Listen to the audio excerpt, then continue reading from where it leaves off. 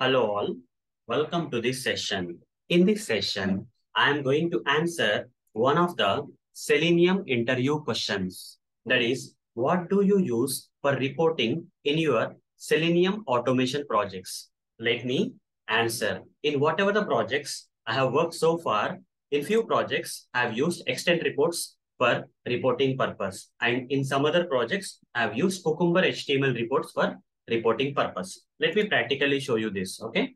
So for example, here I've created a framework, this hybrid uh, TestNG framework with page object model and page factory thing, okay? In this framework, I'm using extent reports, okay? For report generation purpose. Let me show you how this extent report will look like. Right click, uh, let me right click on this report and say, open with web browser. You can see that these are uh, extent reports, okay? For hybrid TestNG uh, framework projects with page object model and page factory, I prefer using extent reports. Okay.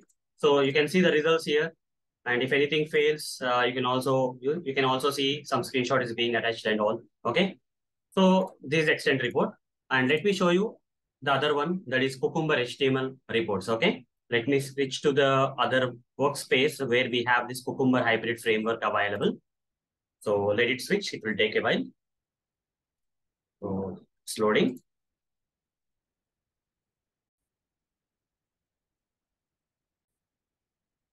So in this project using uh, which is created using this uh, Cucumber hybrid framework, okay? So I have used Cucumber reports, okay? The reporting mechanism is Cucumber reports.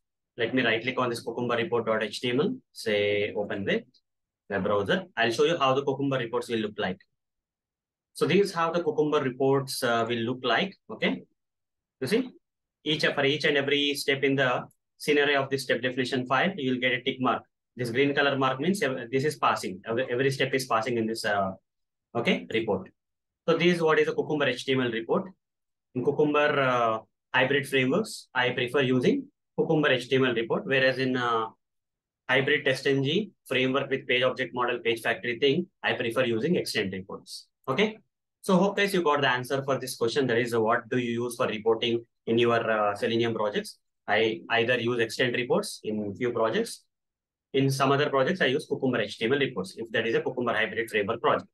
So that's all for this session. Thank you. Bye-bye.